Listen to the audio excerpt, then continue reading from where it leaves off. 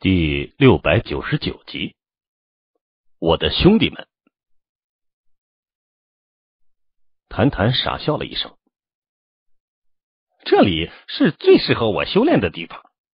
等我的实力达到一定地步，我们一起出去去找他们。他有些神往。其实我最喜欢跟他们在一起的日子。谢丹凤重重点头。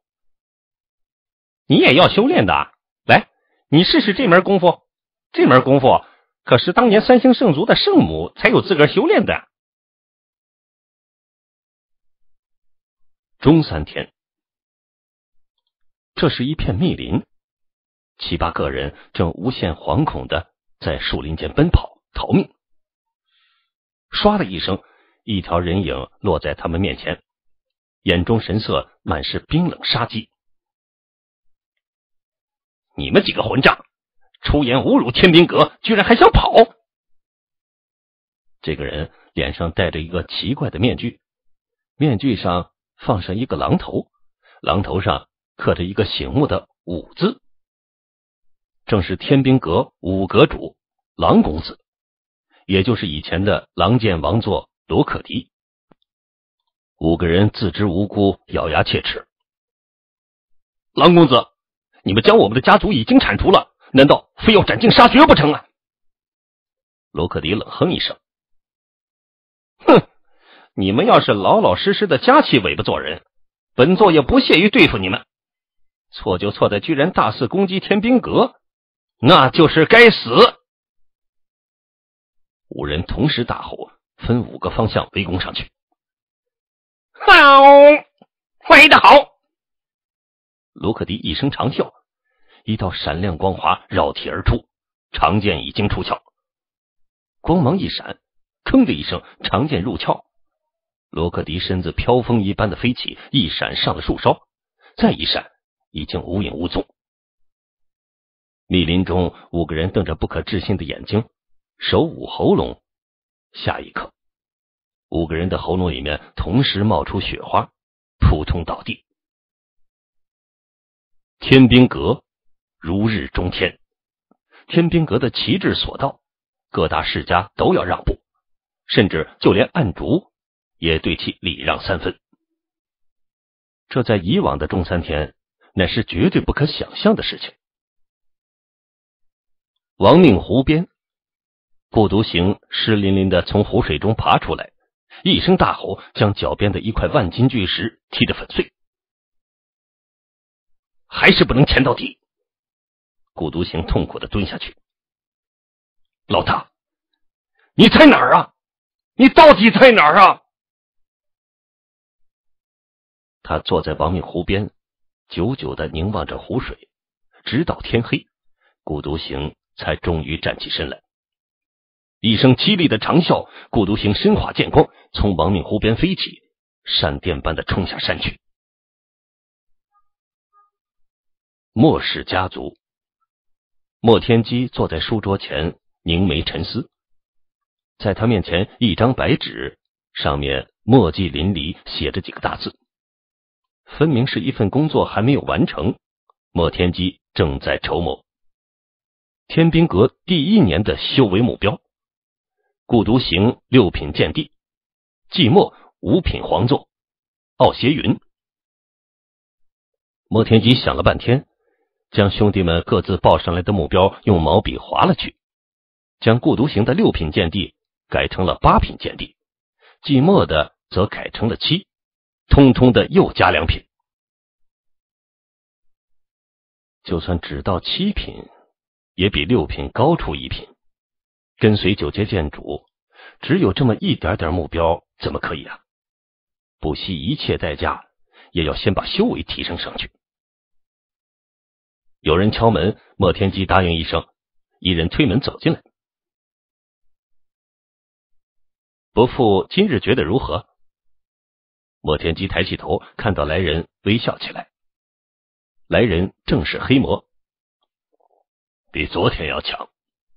黑魔笑了笑，我知道你这几天在发愁什么，所以我想起我们黑魔家族的一种秘法，看看。能不能对你有些什么帮助？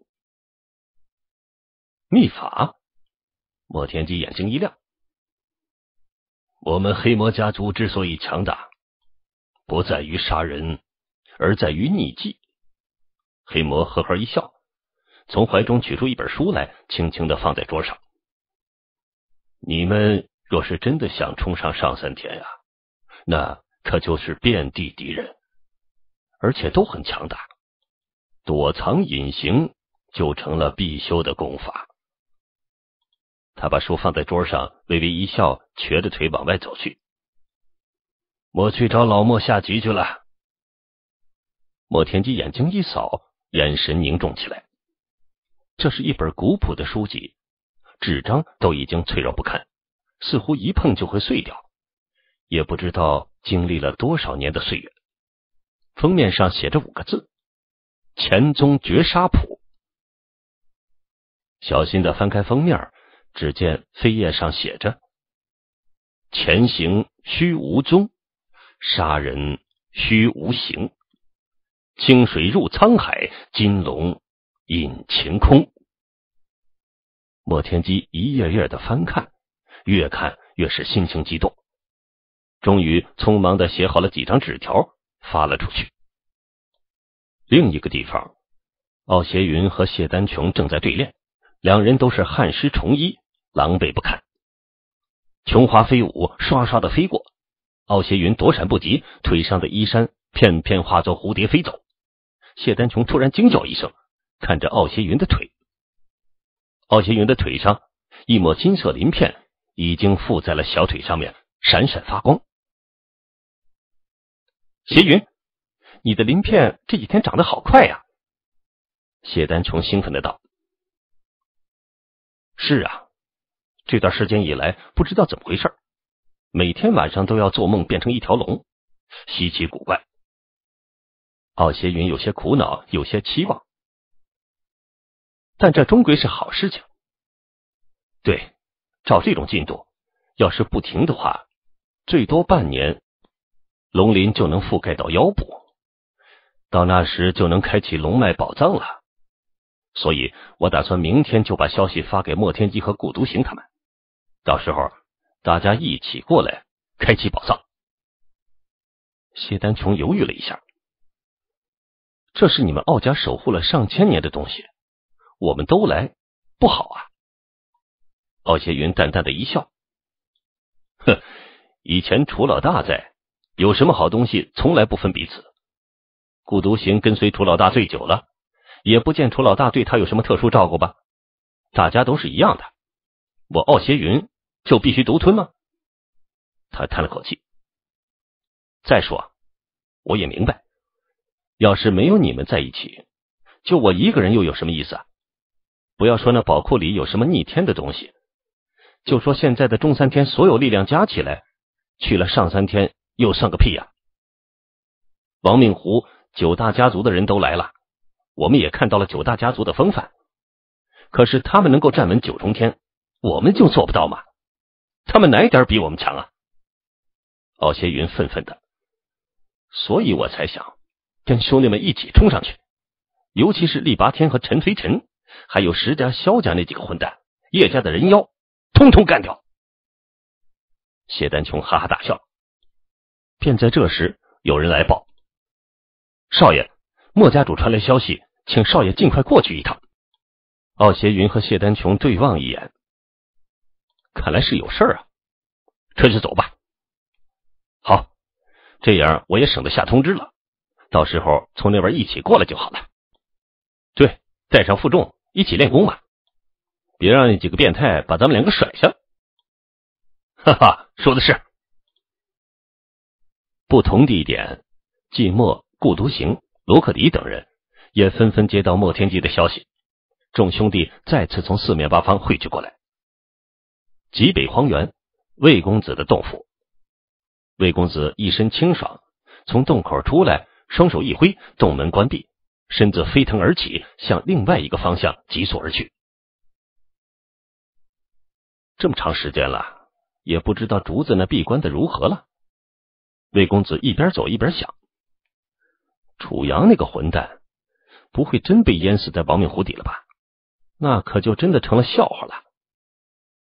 九阶异象已经出现，那就说明九阶剑主没死啊。既然没死，这家伙又去了哪儿了呢？想了想，毫无头绪，还是先去找竹子吧，把我和露露的婚事敲定了再说。这事儿吊着，静不下心呢。这段时间里，楚大老板坐镇紫荆回春堂，日进斗金。转眼之间，从紫荆回春堂开张已经接近一个月了。开始的几天。还是靠着楚神医每天晚上出去打闷棍，然后第二天接着为自己昨晚的劳动成果进行治疗，来赚取紫金。不得不说，抢劫一次再收一次诊费，其实来钱挺快的。但慢慢的，楚神医的黑心名头出去了，但高超医术也名传在外了。从第十八九天上开始，居然不用出去打闷棍了，顾客多了起来。而且基本都是陈年旧伤，大家都是江湖中人。俗话说得好，人在江湖飘，谁能不挨刀啊？只要挨了刀，谁能保证治得好啊？这批上门的顾客基本都是老人，而且是那种修为不是很高，但在各自的家族地位都很重要、有些实权的家族老人。这事儿其实完全想得通，合情合理。修为高的。基本上有深厚修为压着，伤势暂时不要紧。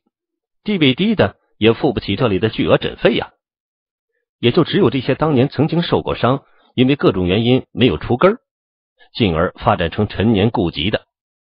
而且这些人养尊处优，修为随着衰退，于是乎这些隐疾就都冒了头。而令所有大夫都为之头疼的，恰恰就是这类病症。都几十年前的伤了，谁敢说治得好啊？最多也就是舒缓一下，轻松一会儿罢了。这类病要想除根根本就是痴人说梦。除了这些人，还有或者是一些小家族的族长、长老之类的。当然，不是楚家这等家族。楚家在九重天不算大的，但在平沙岭还算得上是很大很大的。这种变化让楚飞烟瞪大了眼睛，小萝莉楚乐儿也每天跑来跑去的格外带劲儿。楚神医现在很忙碌了，财源滚滚，但是楚神医却又厌烦起来。一天才一两百块的紫金入账，这要赚到啥时候是个头啊？楚神医仰天长叹，无限郁闷。这句话要是说出去，光是楚家人也能把他贬成猪头。要知道，楚家这么大的家族，每个月的收入除去所有开支之外，也就剩余一百多一点的紫金而已啊！如今这家伙一天就收入一百两百的，居然还嫌少了。于是楚神医痛定思痛，断然提高了门槛：想要看病，低于一百紫金的不看。这一举动立刻就招来一片骂声。但大家却又无可奈何，看楚大老板一副死猪不怕开水烫的架势，还真拿他没辙。平沙岭唯一能够治得了楚家的萧家分堂，已经被这位楚神医搞成了残疾，到现在都没有下文。剩下的鲍家和廖家，更加不敢招惹背后有楚家撑腰的楚神医了。而且在经过萧玉龙事件之后，连阴招都不敢出了，只能眼睁睁的看着他嚣张。虽然价码提高了五倍，但是每天看病的、治伤的还是不少。楚神医也就心安理得起来，颇有些乐不思蜀的样子。呼呼的一个月过去，纯利润紫金已经达到八千有余。若是加上楚阳原本就有的四千来块，紫金数量已经突破了恐怖的一万块。这天，楚阳同时接到两个消息，第一个消息。让楚阳做梦都想笑醒了。萧家与厉家发生了冲突，目前双方摩擦严重，随时走火。对于这边的事情，萧家暂时顾不上。对于萧家来说，区区一个平沙岭分堂还真不怎么算回事儿。